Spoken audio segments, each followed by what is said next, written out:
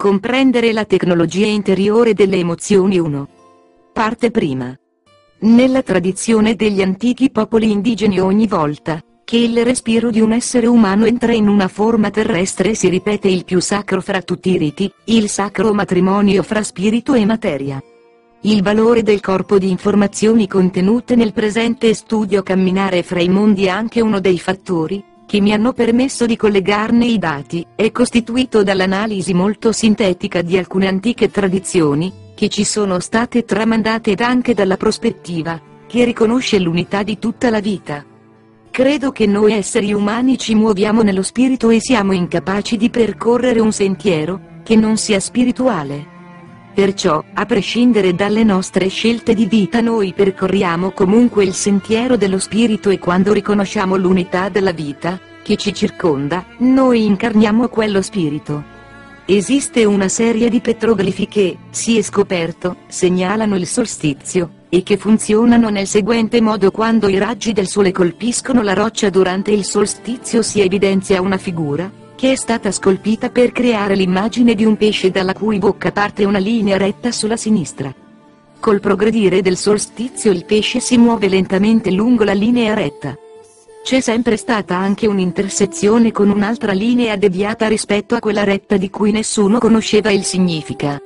L'anno scorso, per una ragione inspiegabile, mentre il pesce si spostava lungo la linea del solstizio ha imboccato la linea deviata, che non era mai stata percorsa prima, indicando così che qualcosa sta cambiando nell'orientamento.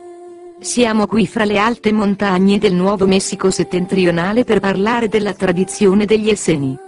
Molte persone mi hanno chiesto perché fa riferimento, in questa altra parte del mondo, agli Esseni che si collocano nell'area del Mar Morto?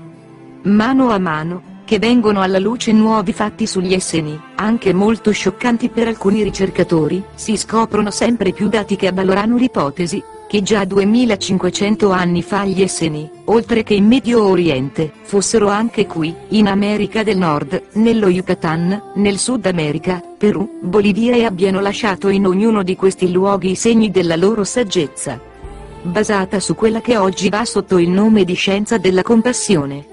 Questo fine settimana avremo l'opportunità di risvegliare in noi il ricordo di quella che considero come la più sofisticata tecnologia, che sia mai stata concessa a questo mondo, una tecnologia, che vive dentro ciascuno di noi. Quasi tutti i testi dell'antica tradizione indicano la nostra epoca come unica, sia per il pianeta Terra, che per l'esperienza umana, che vi si svolge. Gli antichi, coloro che vissero prima di noi, ne erano talmente sicuri, che ci hanno lasciato interi volumi pieni di informazioni, scritti nel linguaggio del loro tempo, per comunicarci che cosa avrebbe significato, per il nostro mondo, l'epoca odierna. Ci hanno tramandato, che ai nostri giorni sarebbe nata una generazione di persone dotate di uno speciale potere, insito nel loro essere, che si sarebbe risvegliato in virtù della loro esperienza di vita dei loro rapporti umani. Con il risveglio quegli esseri non sarebbero mai più stati gli stessi. Con il risveglio neanche le loro parole e i loro corpi sarebbero stati più gli stessi. Gli antichi erano così certi del momento in cui questo sarebbe avvenuto e del ruolo, che gli esseri umani avrebbero avuto nel cambiamento, che diedero persino un nome a coloro che sarebbero vissuti in quest'epoca. Ritengo che la nostra generazione sia proprio quella che è stata prescelta per collegare tutto ciò che è stato fino ad oggi con tutto ciò che deve ancora venire. Abbiamo scelto di collegare gli antichi paradigmi della luce e dell'oscurità con un nuovo paradigma, che non ha ancora un nome.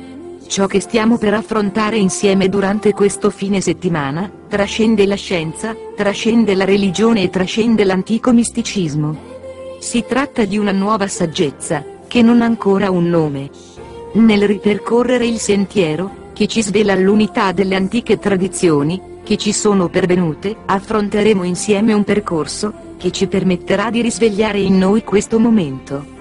Secondo gli antichi, gli esseri umani avrebbero avuto l'opportunità di percorrere due sentieri. Il primo è quello della tecnologia esterna, che conosciamo molto bene, per mezzo della quale costruiamo macchine e strumenti esterni al nostro corpo fisico, forse senza renderci conto, che ogni volta che ciò avviene non facciamo altro che costruire uno specchio di una qualche funzione del nostro corpo fisico. La prima volta che ho espresso questo concetto davanti a un gruppo di persone mi è stato chiesto cosa intende dire. Non siamo dei tostapane o dei videoregistratori. Allora ho risposto no, non lo siamo, le componenti stesse che permettono ad un tostapane o ad un videoregistratore di essere ciò che sono, noi le incarniamo in ogni cellula del nostro corpo. Ogni nostra cellula ha un potenziale elettrico pari a 1,17 volte e ne abbiamo molte nel nostro corpo. Come attiviamo quel potenziale? Gli antichi sostenevano che lo attiviamo e lo regoliamo attraverso le emozioni. Erano così sicuri, che la nostra generazione si sarebbe ricordata di questa tecnologia interiore, che scrissero per voi interi volumi sull'argomento, vi diedero persino un nome, vi chiamarono coloro che camminano tra i mondi. Voi siete quelli che camminano tra i mondi. A chi appartiene la tecnologia, che ci viene richiesto di incarnare? Io ritengo che abbiamo raggiunto un punto cruciale nell'evoluzione della consapevolezza umana. Abbiamo costruito macchine al di fuori del nostro corpo fisico per ricordarci che siamo qui. Abbiamo costruito delle macchine che dimostrano abilità e resistenza, che trasmettono e ricevono informazioni, proprio come fa ogni cellula del vostro corpo. Dalla prospettiva degli antichi, noi iniziamo a percorrere il secondo sentiero, nel momento in cui noi diventiamo quella tecnologia, costruiamo macchine per purificare l'aria e per guarire la terra, ma dentro noi siamo quelle macchine. Ci viene ricordato che in quest'epoca storica la Terra subirà dei cambiamenti enormi, senza precedenti, e che i nostri corpi li rispecchieranno. Quanti di voi sentono di essere in una fase di grandi cambiamenti in questo momento della loro vita? Per me è così ogni giorno. Ci sono ben poche cose capaci di sorprendermi, sebbene io viva in uno stato costante di timore riverenziale mentre questo processo si realizza. Quanti di voi sentono che il tempo sta scorrendo più velocemente? Avete notato che la velocità delle vostre funzioni corporee sta aumentando? Noi esseri umani siamo cambiati. I ricercatori la chiamano la mutazione genetica spontanea. Un processo il cui inizio risale a circa 5 anni fa ed ora il DNA in alcuni individui non ha più l'aspetto che aveva prima. Quegli individui hanno sviluppato un'immunità fortemente accresciuta verso quelle che erano considerate malattie potenzialmente letali come l'eve e il cancro. Le cellule di quelle persone si moltiplicano con una velocità 100 volte maggiore di quanto non sia mai stato rilevato in precedenza. I loro corpi, che pure invecchiano nel flusso del tempo lineare, non si deteriorano. Perché? Cosa hanno fatto di diverso quelle persone? I ricercatori chiedono loro che integratori avete preso? Vitamine un allucinogeno dell'Ucraina, che fate fermentare in frigorifero? E loro rispondono abbiamo cambiato il nostro sistema di credenze. Credenze, pensieri, sentimenti ed emozioni. Vedete, è molto chiaro, che gli antichi ci hanno lasciato proprio queste componenti di una tecnologia, che ritengo sia accessibile. Si tratta di uno stato di consapevolezza, che oggi va sotto il nome di compassione. Quando riflettiamo sulle sfide posteci dalla vita o sulle cose, che ci hanno ferito quando guardiamo il telegiornale e osserviamo ciò che sta accadendo nei paesi del terzo mondo o nel cortile di casa nostra, potremmo chiederci è possibile, che le cose, che ci hanno fatto soffrire così profondamente in passato siano un meccanismo a cui noi abbiamo acconsentito? È possibile, che le grandi sfide posteci dai rapporti umani, dalla salute e dalla sopravvivenza non siano altro che uno strumento di cui ci serviamo per ridefinire noi stessi teologicamente il momento presente? Mentre apprendiamo e ricordiamo nuove modalità di risposta a quelle sfide, stiamo forse ridefinendo i nostri parametri biologici? Stiamo diventando una nuova specie? Io credo di sì. Lo dico apertamente. Alcuni di voi lo sanno già. Io sono un ottimista e credo senza ombra di dubbio, che qualunque sia il processo di cambiamento, che si sta realizzando oggi su quello che chiamiamo il nostro mondo e nei suoi sistemi sociale, politico, economico, militare, meteorologico e teologico, esso costituisce un cambiamento sano e naturale. Credo anche che stiamo passando attraverso un ciclo simile a quelli già vissuti in precedenza anche se forse non ce ne rendiamo conto perché la durata dei cicli è molto lunga.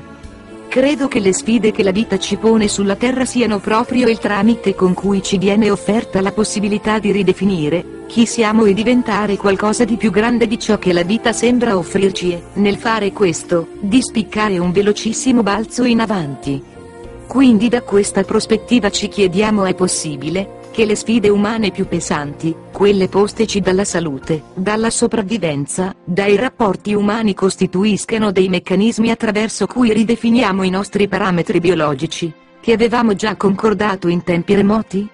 Ritengo che proprio questa sia la sfida e nel contempo l'opportunità, che ci viene offerta oggi.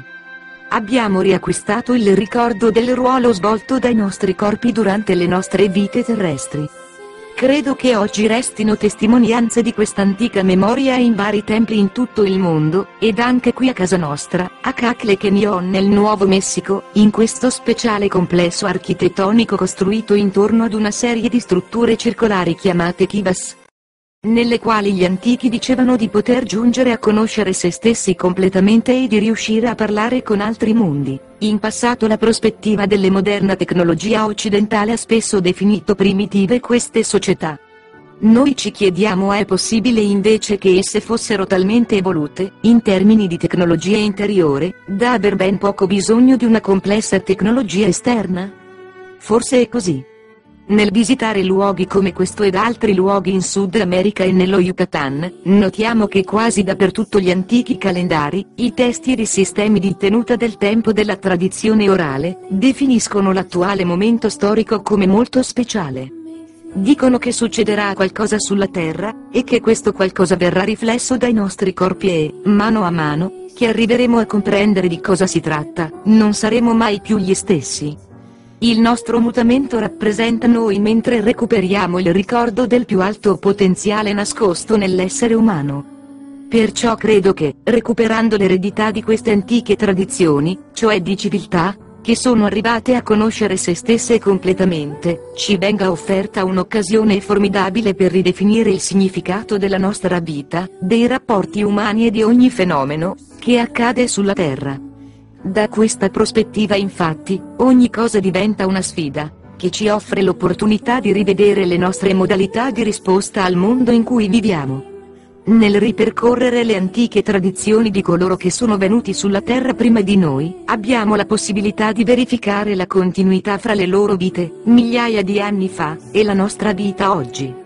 Anche a prescindere da quelle antiche tradizioni, assistiamo ad eventi, che accadono al di là del nostro mondo attuale, poiché percorrendo il sentiero della tecnologia esterna, abbiamo costruito delle macchine, degli strumenti esterni al corpo umano, abbiamo viaggiato nelle profondità atomiche del mondo dei quanti, abbiamo assistito al momento del concepimento all'interno di un utero umano, abbiamo creato macchine che funzionano da surrogati delle nostre percezioni o da estensione dei nostri sensi, e che ci hanno fatto entrare in mondi da cui credevamo di essere separati mentre in realtà non c'è separazione perché tutte le informazioni, i dati, le cifre, indicano l'esistenza di una forza, che non può essere né creata, né distrutta, e che sentiamo l'esigenza di misurare. Tutti i dati rimandano a noi, esseri umani, ed indicano che dentro di noi esiste una forza, che gli antichi chiamavano spirito. Oggi il nostro compito è comprendere come quella forza sia in grado di far muovere gli esseri umani e la storia.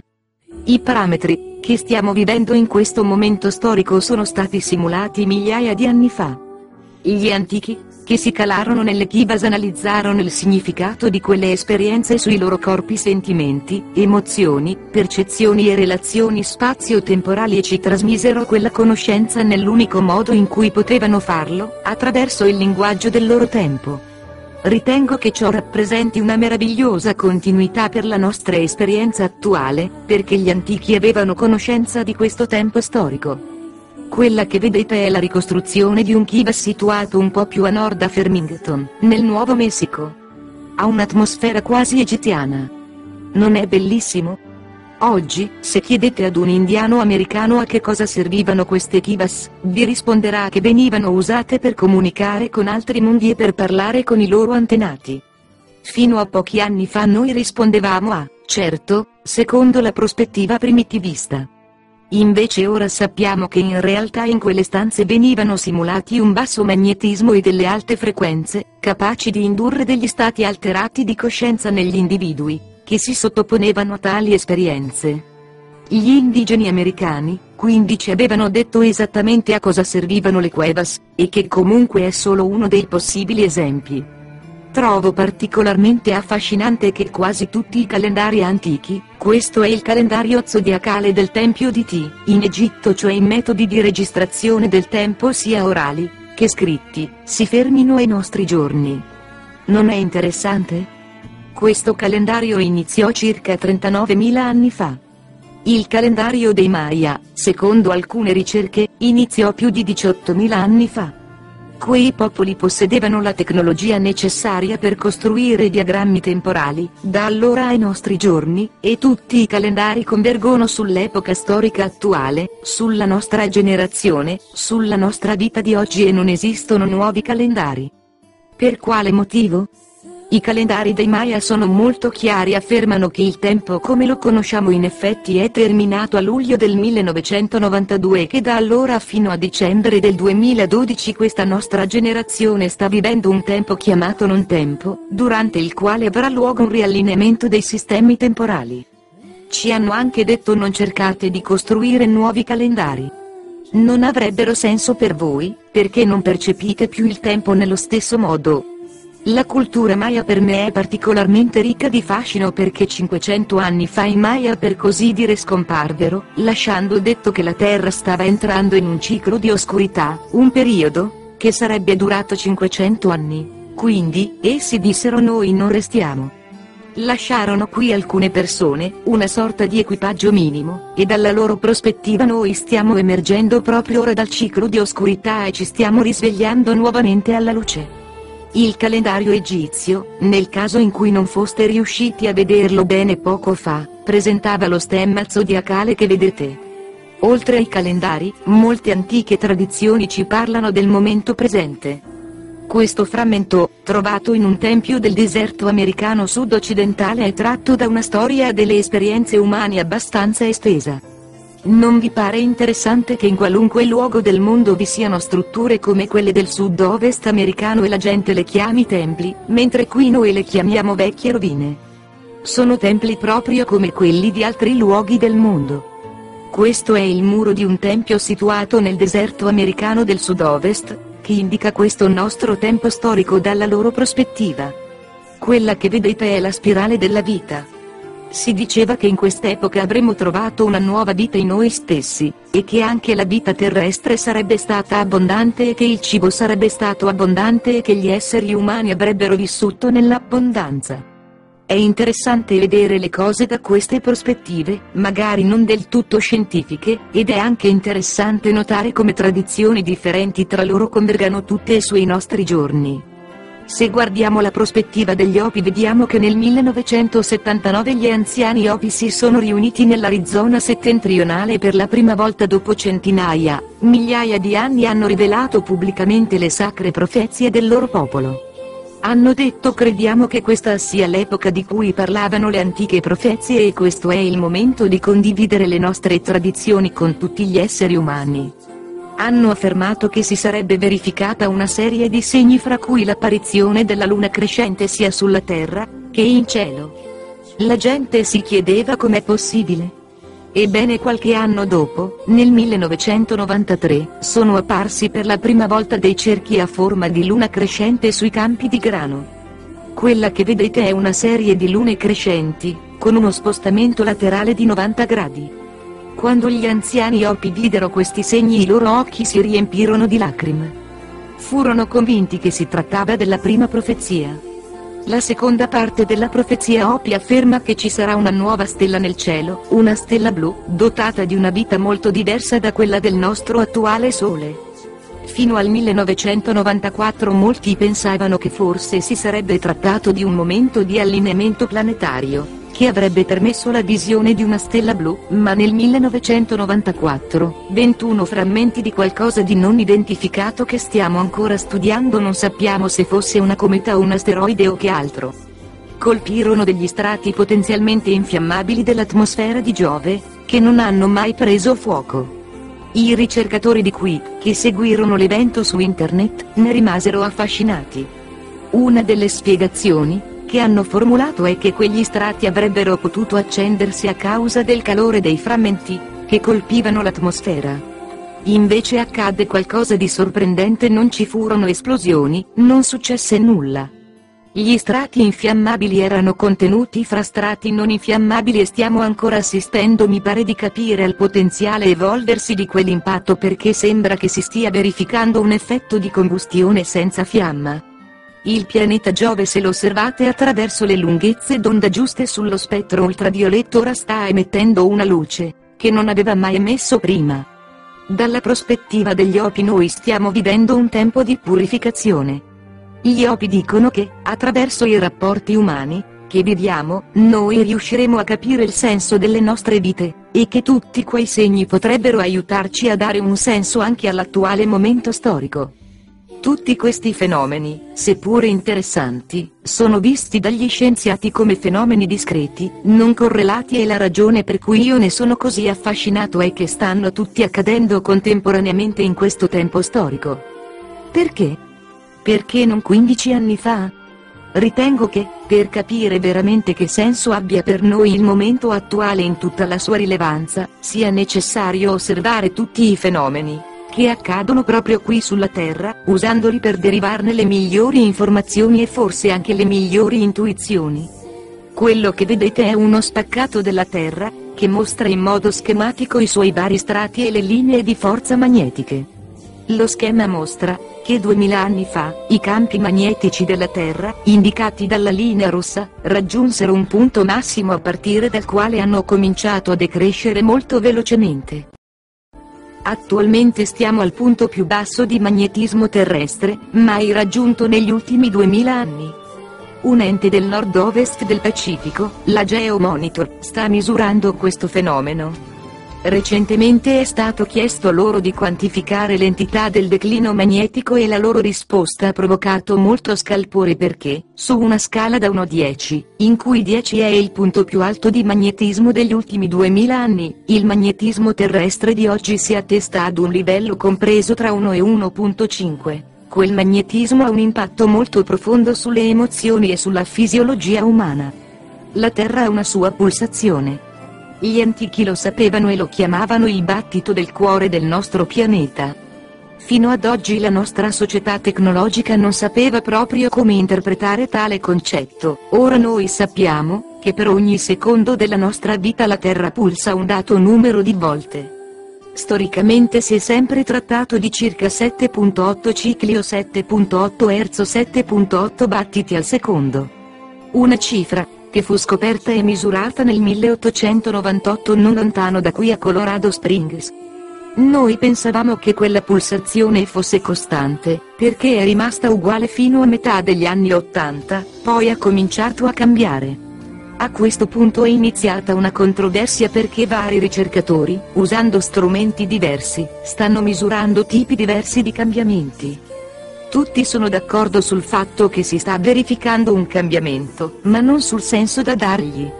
La nostra odierna tecnologia ci indica almeno due parametri, che stanno modificandosi molto velocemente il magnetismo sta scendendo e le frequenze stanno salendo. Ritengo che stiamo vivendo in un'epoca in cui ci stiamo muovendo verso il punto di convergenza dei due parametri, che si avvicineranno molto e forse si incontreranno. Il giorno in cui ciò accadrà sarà quello che le antiche tradizioni, gli antichi testi hanno descritto quello in cui vedremo l'inizio di ciò che è stato definito il cambiamento epocale. Molti lo chiamano anche la nuova era o l'alba di una nuova era. Gli Opi lo chiamano l'inizio del sesto mondo e alcuni ricercatori l'hanno battezzato mutamento dimensionale oppure traduzione dimensionale o inversione magnetica. Ci sono molti modi di concepire questo nostro tempo storico. Quasi tutti gli antichi testi, calendari e codici si riferiscono all'epoca in cui viviamo come ad un momento unico della storia umana e terrestre. In tempi recenti i ricercatori hanno ammesso che i cambiamenti narrati dai testi antichi stanno effettivamente verificandosi ora. Le cadute di magnetismo e gli aumenti di frequenza planetaria di base che stiamo osservando, riflettono modifiche mai accadute prima, nella storia dell'umanità e della Terra. I testi, che espongono tali modificazioni del nostro mondo e delle nostre vite, fanno anche riferimento ad un'antica promessa che ci permetterà di operare la transizione con grazia attraverso un codice di condotta che ci permetterà di comunicare gli uni con gli altri nella vita quotidiana. Gli antichi testi descrivono con molta chiarezza il rapporto tra tecnologia interna ed esterna, che noi incarniamo in questo mondo. Secondo tale prospettiva la tecnologia esterna è rappresentata da tutto ciò che abbiamo costruito le macchine e gli strumenti, che abbiamo creato L di fuori di noi stessi, e che rappresentano noi nell'atto di ricordare chi siamo, imitando le nostre funzioni attraverso le macchine stiamo continuando a percorrere il sentiero della tecnologia esterna, finché non giungeremo al punto in cui recuperiamo la memoria. Raggiunto quel punto imboccheremo il sentiero della tecnologia interiore, in cui noi diventiamo quello. Quello è l'inizio del sentiero della compassione. La Terra sta passando attraverso un processo apparentemente senza precedenti dal punto di vista geologico e sicuramente senza precedenti dal punto di vista della storia umana. Tutte le antiche tradizioni ci ricordano che era tutto previsto. Per me questo è fantastico, perché è lì che risiede la continuità. Stiamo vivendo un'esperienza, che la tradizione orale e scritta ha conosciuto, profetizzato, predetto e atteso per migliaia di anni. Abbiamo davanti le esatte parole, che ci sono state tramandate ancor più di recente, durante gli ultimi 3000 anni. Questo è un frammento del manoscritto del Mar Morto, il manoscritto del profeta Enoch, che fu molto preciso nel descrivere i cambiamenti a cui avremmo assistito nella nostra epoca. I raccolti non sarebbero cresciuti durante la loro stagione, i modelli meteorologici e solari si sarebbero modificati ed anche gli stessi esseri umani sarebbero cambiati molto velocemente. Quasi tutte quelle antiche tradizioni affermano che, in qualche modo, per mezzo di un processo mistico, che non fu ben compreso migliaia di anni fa, i nostri corpi sarebbero cambiati ed ora sappiamo, perché i nostri ricercatori l'hanno convalidato il DNA, che abbiamo sempre creduto essere un codice fisso, in realtà non lo è. Noi incarniamo un codice variabile di DNA.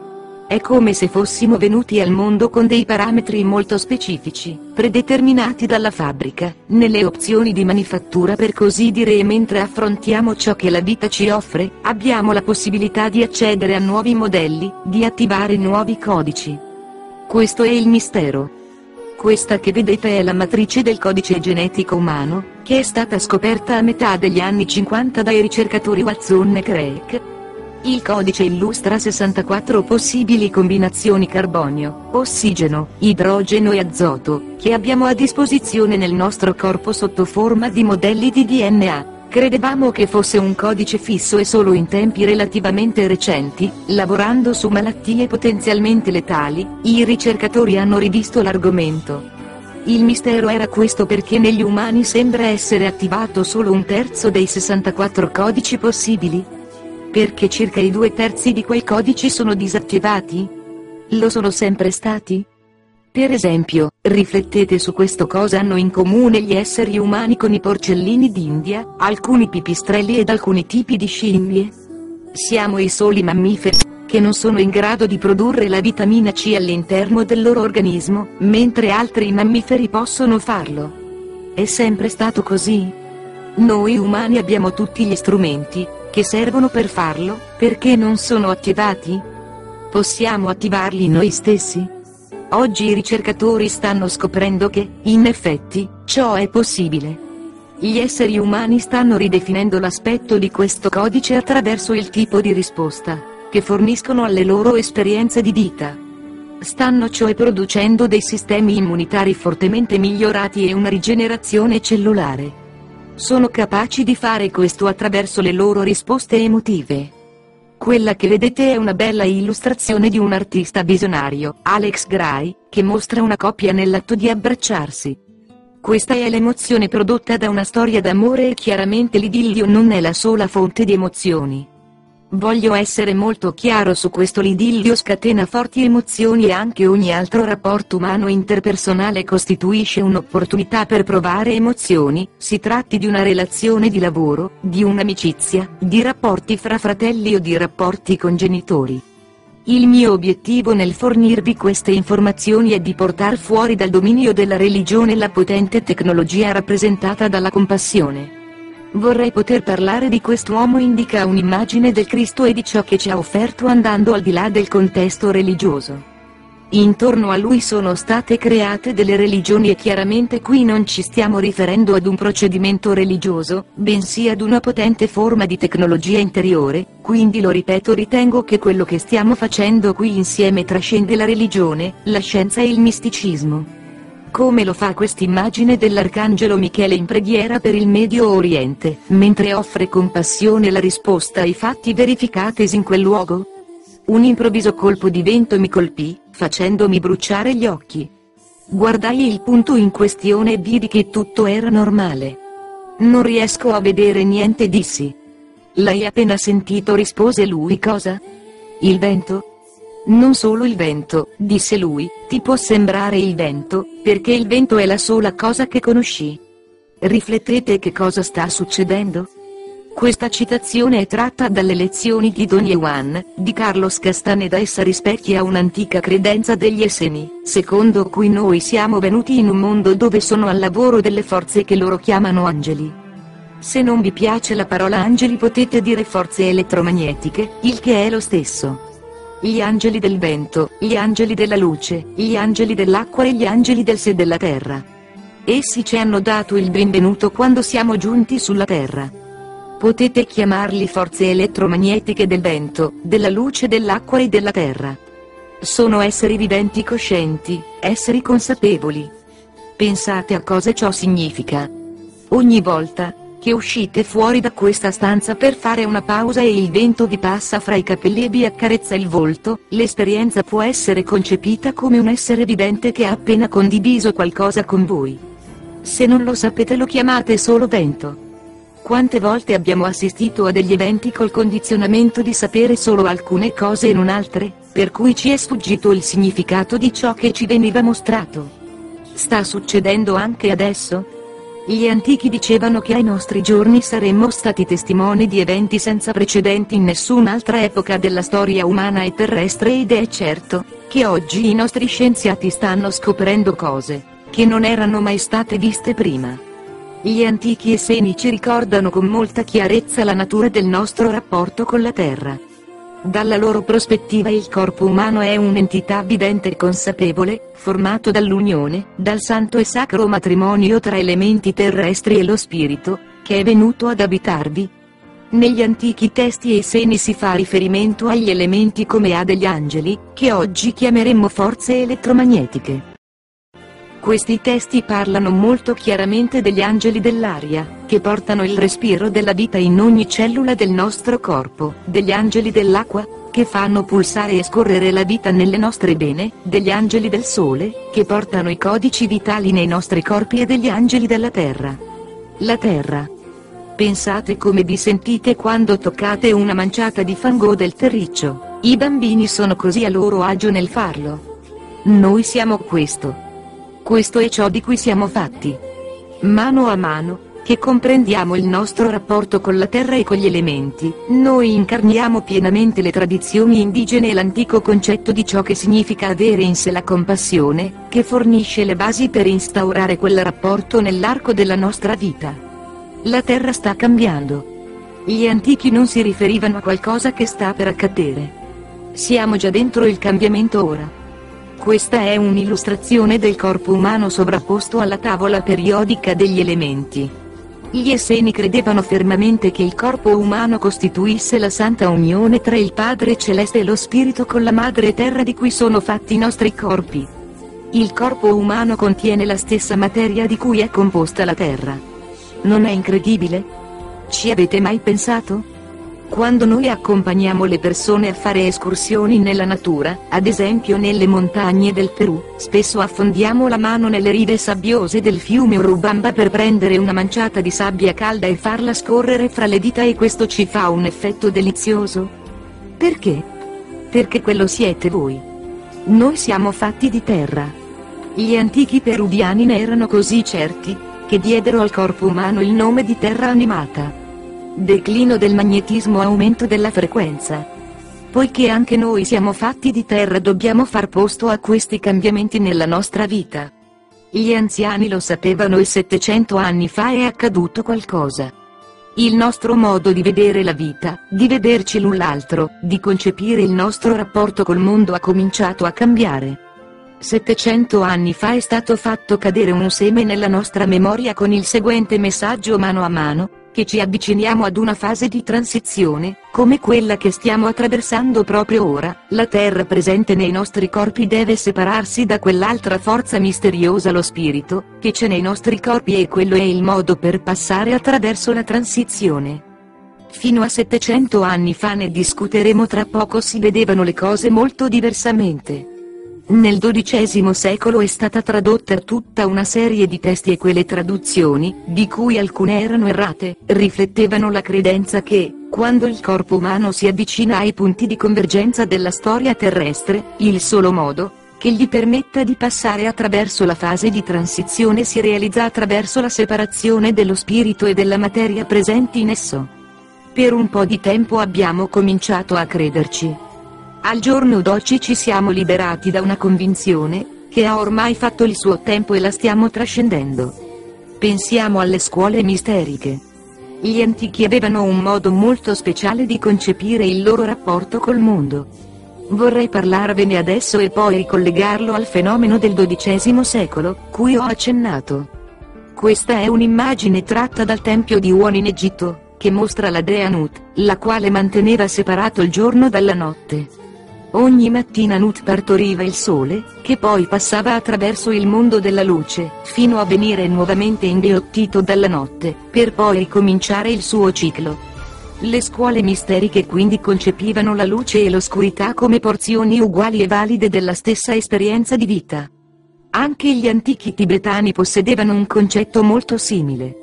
Questa illustrazione è tratta dalla prima pagina di quello che prima si chiamava il libro tibetano dei morti e a cui ora è stato dato il nuovo titolo di libro tibetano dei morti e dei viventi, perché i suoi principi si applicano anche alla vita oltre a ciò che viene dopo di essa. I tibetani concepivano la vita in maniera molto simile agli egizi e affermavano che sia la luce, sia l'oscurità ci offrono delle grandi opportunità esperienziali, e che ciascuno di questi piccoli cerchi concentrici, rappresenta un'esperienza vibratoria attraverso un punto che è un passare prima di raggiungere lo stato del Buddha, lo stato dell'equilibrio e dell'illuminazione. Pensiamo infine alla tradizione cristiana.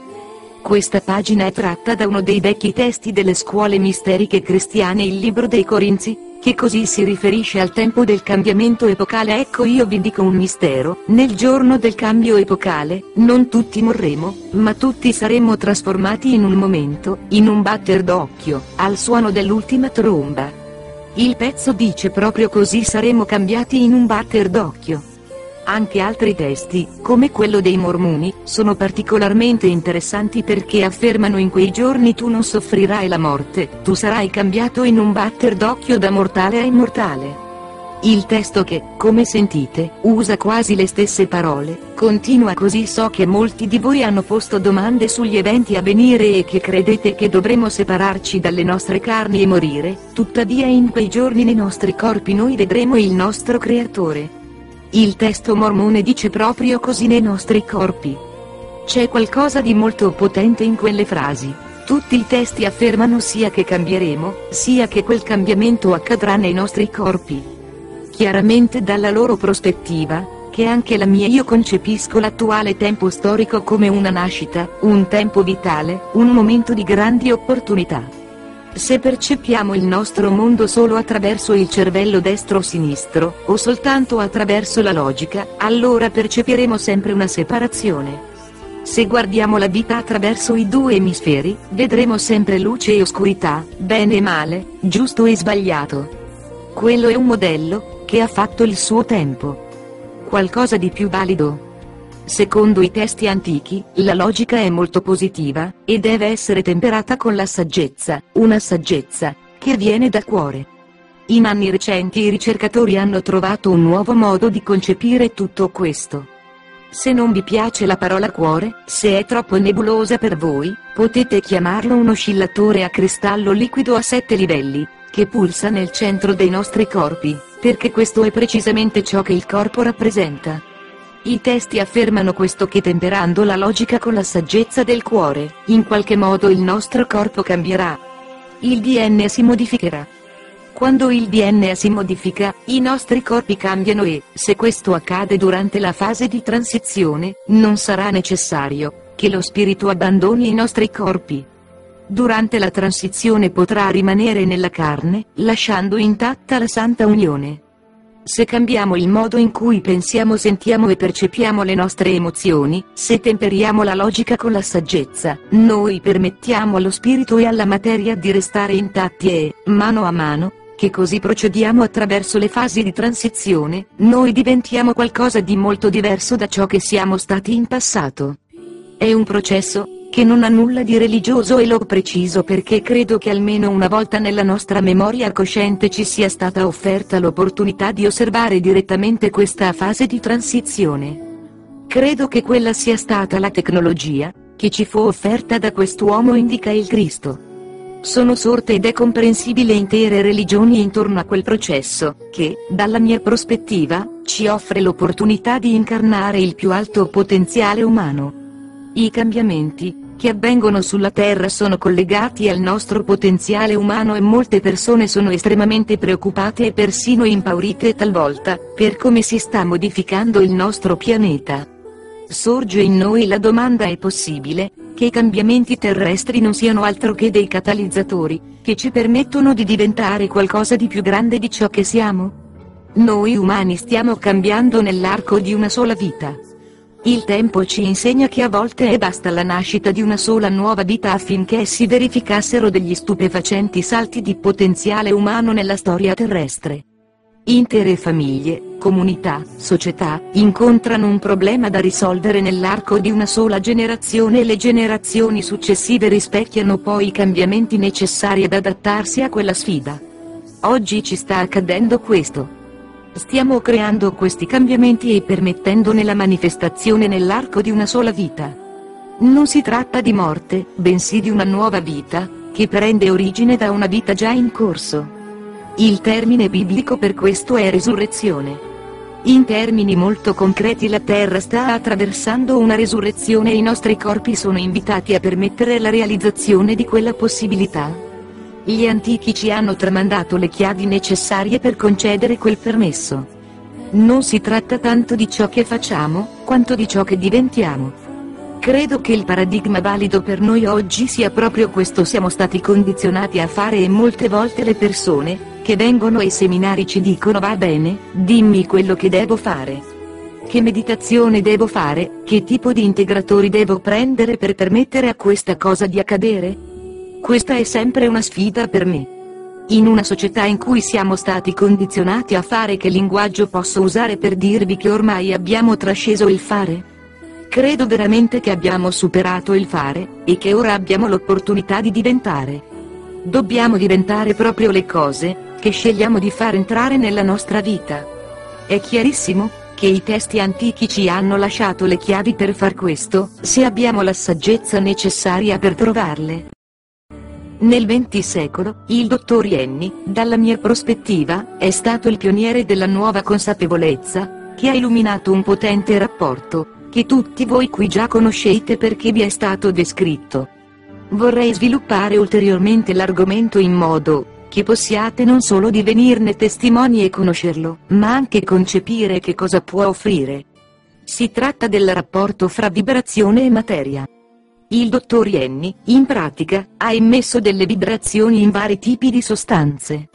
Talvolta ha usato una sostanza in polvere come il licopodium, che è la spora della pianta di Artemisia vulgaris e possiede una forma perfettamente sferica, una bassa tensione di superficie ed un bellissimo disegno. Altre volte ha immesso le frequenze in un liquido, come nell'esempio, che stiamo per osservare.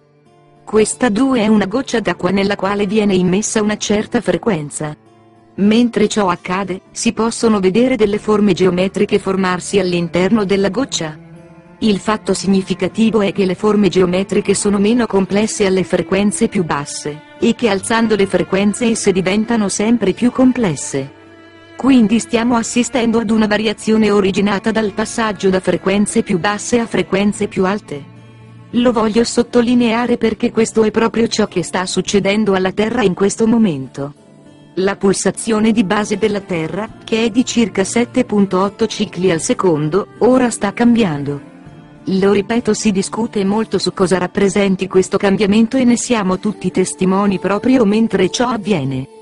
Man mano, che attraversiamo questo mutamento della pulsazione a livello planetario i modelli energetici sono obbligati a cambiare per potersi adeguare, proprio come i modelli energetici di questa goccia d'acqua stanno cambiando per rispondere ad una differente pulsazione.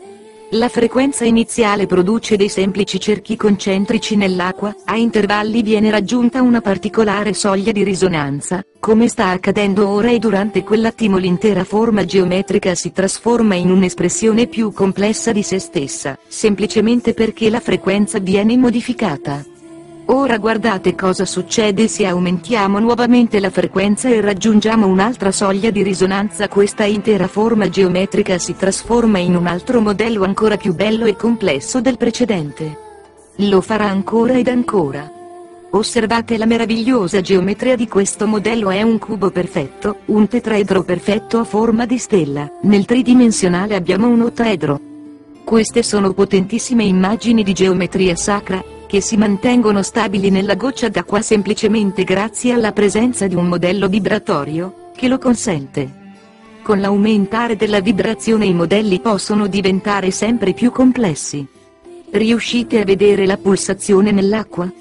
Mentre entriamo nell'ultima serie di frequenze, se osservate il perimetro esterno, vedrete che l'intero modello raggiunge il suo più alto livello di complessità e poi col calare delle frequenze ritorna a ciò che era inizialmente dei cerchi concentrici. Sembra quasi che sia vivo. Voi sapete che spesso ci è stato proposto il concetto secondo cui il pensiero è vibrazione. Avete mai preso in considerazione il fatto che l'emozione sia vibrazione? Sentire è vibrazione noi siamo sempre nello stato del sentire abbiamo costantemente in noi delle emozioni. Anche se non sempre ne siamo coscienti, portiamo quei modelli vibratori dentro di noi. Mentre abbiamo un pensiero, un'emozione noi immettiamo un modello nel cristallo liquido rappresentato dal nostro corpo. In questo momento, che modello vibratorio è il vostro corpo? Che emozione, che sentimento provate? Ne siete coscienti? Siete coscienti che, cambiando le vostre emozioni voi cambiate i modelli vibratori presenti nel vostro corpo? Esiste una tecnologia, che l'Occidente ha perso di vista 700 anni fa, e che riguarda il modo di regolare i modelli di energia all'interno del corpo umano.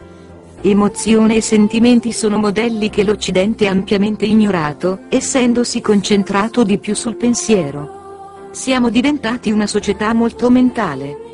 Questo è un sentiero potente e la sua conseguenza è che dobbiamo ritrovare, dobbiamo ricordare l'equilibrio necessario a raggiungere con grazia il più alto potenziale offertoci dalla logica in questo mondo. Questa è la ragione per cui stiamo procedendo molto lentamente. La tecnologia entra in gioco quando vi chiedo sapete con quali sentimenti e in che modo si deve rispondere alla vita per riuscire a creare dei modelli molto specifici nel corpo umano? Ci ha mai detto nessuno come farlo? Esiste una tecnologia per questo e potente e da potere a chi la usa ed ora stiamo per condividerla insieme. Gli antichi hanno affermato che la Terra sta attraversando questo mutamento.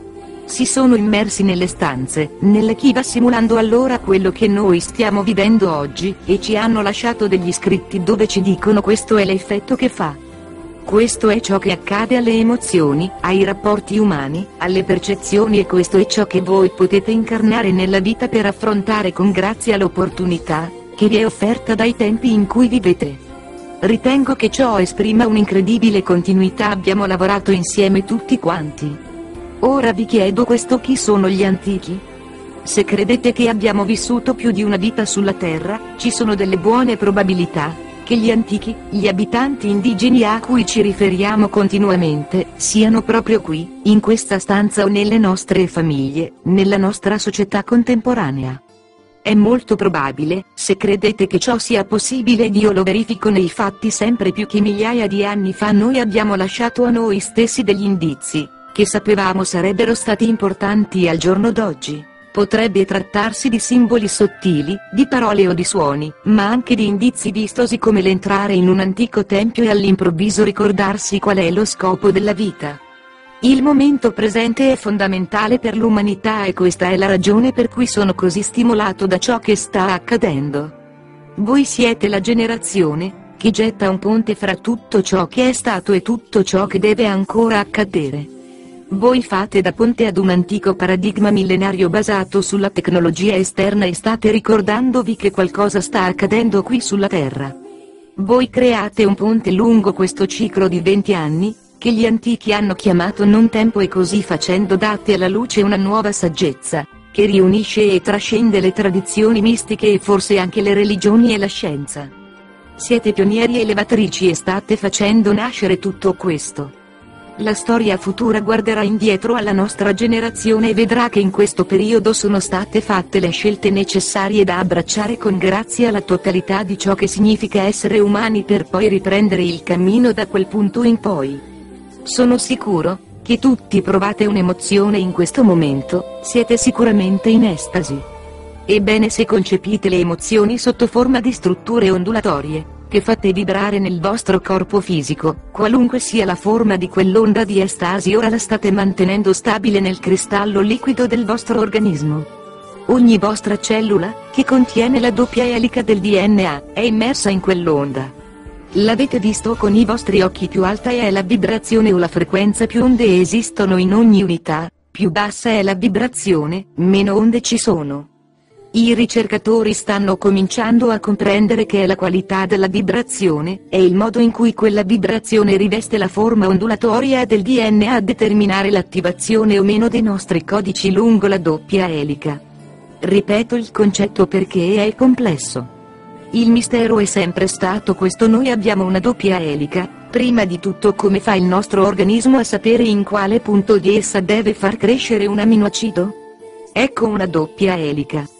In un'elica noi osserviamo la presenza ad intervalli di forme particolari, che hanno ad esempio un aspetto come questo della lanina, che è un aminoacido, o della salina, che ha l'aspetto di una zampetta di cane, mentre la lanina ha l'aspetto di un lecca-lecca.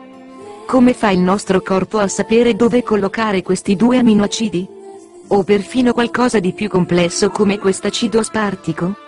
In primo luogo come fa l'organismo umano a sapere dove far crescere un elemento lungo l'elica ed in secondo luogo, una volta, che l'elemento è posizionato, come fa l'organismo a sapere se lo deve attivare oppure no?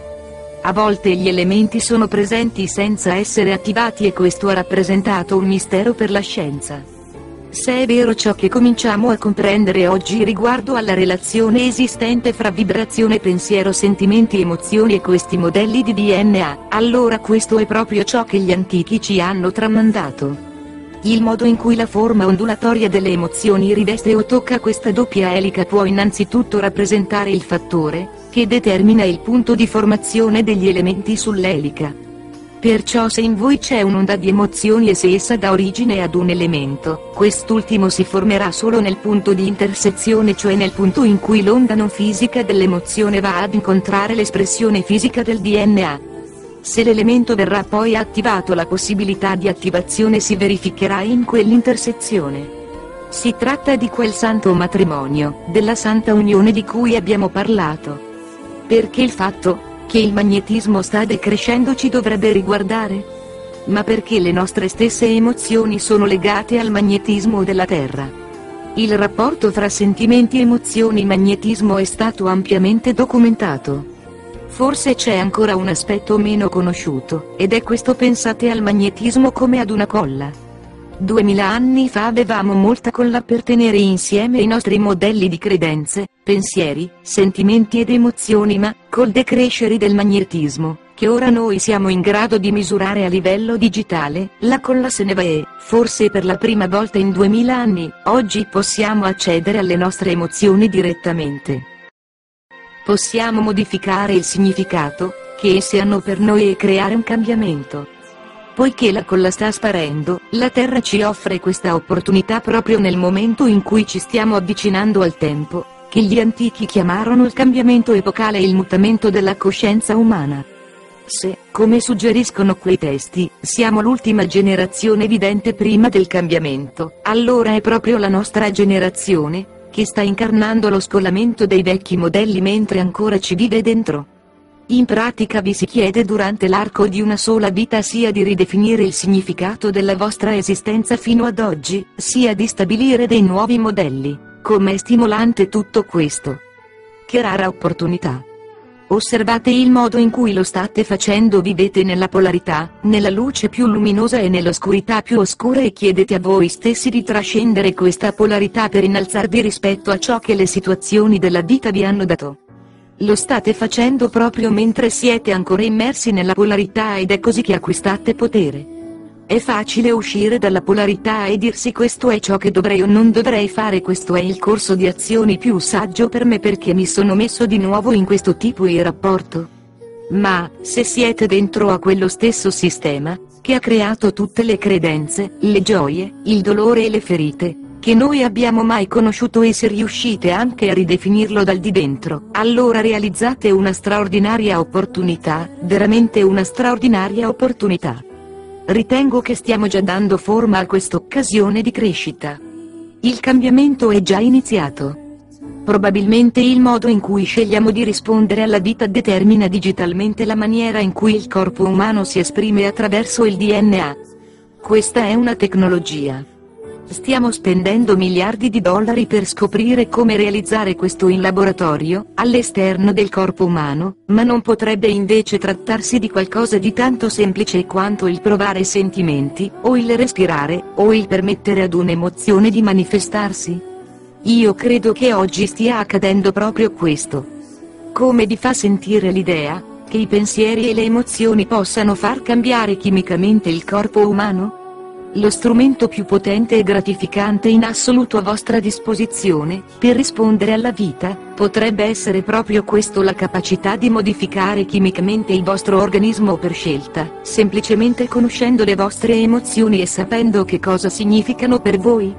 A questo punto le cose si fanno molto interessanti perché stabiliamo rapporti con gli altri proprio per creare emozioni, che ci permettono di conoscere noi stessi e per far questo diamo vita a dei rapporti molto intriganti.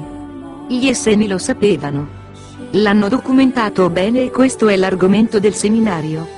Tra poco analizzeremo la prospettiva degli esseni, che presenta sette qualità di rapporto, che tutti noi prima o poi dobbiamo sperimentare per arrivare a conoscere noi stessi completamente.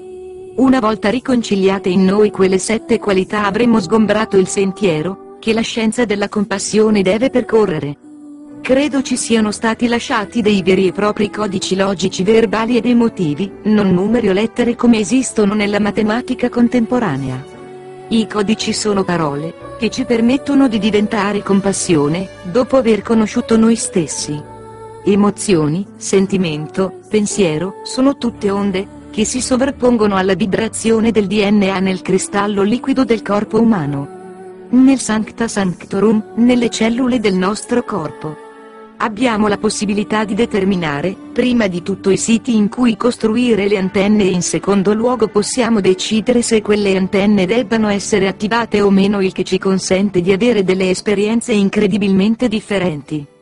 Abbiamo parlato del circuito sacro, la terra sintonizza il cuore e il cuore sintonizza il cervello e il cervello sintonizza le cellule studiando questo modello, di per sé molto semplice, ma anche molto elegante nel descrivere ciò che da molto tempo gli antichi ci hanno tramandato, ci chiediamo se noi umani incarniamo questo circuito, perché non siamo sempre ben sintonizzati? Perché non siamo sempre in perfetta armonia con il nostro circuito fatto di cellule cervello cuore terra. Quale potrebbe essere il fattore capace di guastare, cambiare, modificare, quella frequenza? Ecco la risposta. Il volto di quest'uomo 3 mostra un'emozione, di che emozione si tratta secondo voi? Paura, tristezza? Quest'uomo ha paura. Forse teme per la sua vita, se vedete anche il resto dell'immagine. Paura. La paura è l'unico modello di interferenza capace di impedire la risonanza fra terra, cuore, cervello, cellule. Cosa è la paura? La paura indossa moltissime maschere nella nostra cultura. Quasi tutti proviamo paura nella nostra vita. Paura dei rapporti amorosi, paura di non valere, paura di non riuscire a soddisfare impegni e responsabilità. Alcuni ricercatori hanno stimato che un'altissima percentuale, fino al 98% delle paure presenti nelle nostre vite, in realtà non ci appartiene. Il 98% di quelle paure non sono vostre. Vi chiederete allora di chi sono? Queste antenne ci collegano alle griglie o campi elettromagnetici in cui sono situati i modelli di informazione. Tutte le paure, di tutti coloro che sono vissuti prima di questo tempo storico sono mantenuti al loro posto da quei campi magnetici. Gli esseri umani vengono messi al mondo in virtù di questo codice di partenza, che ricevono all'inizio della loro vita, vale a dire che veniamo sintonizzati, fin dall'inizio, su quelle stazioni. Mentre ci risvegliamo sulla Terra percepiamo i modelli, che quelle stazioni ci hanno messo a disposizione come se facessero parte di noi e li portiamo con noi finché non riacquistiamo la memoria o finché essi non hanno più senso e ci scegliamo una nuova situazione. Abbiamo qui uno schema di questo tipo, che riguarda le persone principali, maschi e femmine, che si sono presi cura di noi ed ora vi chiedo di descrivermele nel modo in cui le percepivate da bambini, usando una sola parola o una breve frase. Allora, le caratteristiche delle persone principali, che si sono prese cura di voi nell'infanzia 4. Vorrei chiedervi di condividere con me le qualità negative e positive, che avete elencato. Ci servono entrambi per il nostro lavoro. Durante gli anni in cui ho lavorato a questi temi, ho incontrato raramente dei casi in cui le persone avessero difficoltà con i momenti positivi, con le gioie della vita. In passato era così, forse in futuro le cose cambieranno, chissà. Ma ora per questa ragione vi chiedo di prendere la lista delle caratteristiche negative siano esse maschili o femminili e di condividerne il contenuto come ha detto. Critico, rigidità è questa la parola, chi avrebbe usato da bambina? Va bene rigidità, non coinvolto, arrabbiato, egoista, possessivo, fanatico, irrazionale. Come si manifestava questa qualità? Con un tipo di comportamento incoerente? Credo si possa dire irrazionalmente pauroso, va bene, lo scriviamo così, immaturo, controllante, depresso, senza speranza, ubriaco, debole, prevenuto, imbroglione. Beh, interessante. Ho avuto la possibilità di svolgere questa attività con molte persone durante gli ultimi dieci anni. L'abbiamo proposto in paesi diversi, con gruppi diversi, di varie etnie, razze, culture e ambienti. Ora vi mostrerò una diapositiva, che risale a sei anni fa nella quale appaiono molte delle parole, che vedete scritte sulla nostra lavagna. Se non lo si sapesse, osservando le due liste, si potrebbe quasi dire che siamo venuti tutti dalla stessa famiglia. Non è interessante? Siamo tutti venuti dalla stessa famiglia. È incredibile come gruppi differenti di persone scrivano le stesse parole. In gruppi più numerosi si finisce per fare molte crocette accanto alle parole, che hanno un'alta incidenza. Perché? Perché accade questo? Perché tutte queste caratteristiche negative si somigliano così tanto anche se sono state raccolte per anni fra culture, aree storico-geografiche, etnie, razze altamente diversificate fra loro. Che ne pensate? Siamo un tutt'uno su questa terra. Ci sono sempre delle eccezioni a tutto ciò che facciamo e noi qui stiamo cercando delle generalizzazioni, dei modelli di informazione. Vi rivolgo una domanda a proposito di modelli. Spesso e volentieri, qual è il modello implicito, che viene espresso dalla caratteristica del giudizio in un rapporto umano? È la paura. E se voi l'avete messo sulla lista significa che vi ha colpito perché ve ne ricordate ancora oggi. Quando giudichiamo qualcuno, che messaggio diamo in realtà? Abbiamo paura di quella persona. C'è paura. Gli altri potrebbero essere migliori di noi, potrebbero aver ragione. In qualche modo noi ci paragoniamo ad un punto di riferimento esterno, ad un altro individuo, e la nostra paura è che potremmo non essere all'altezza. Spesso quando notiamo che la rigidità è dominante in un rapporto, qual è il suo modello implicito? Paura di cambiare. È paura. Francamente, senza dati più specifici, ci potrebbero essere anche altre cause oltre a questa, ma spesso si tratta solo di paura.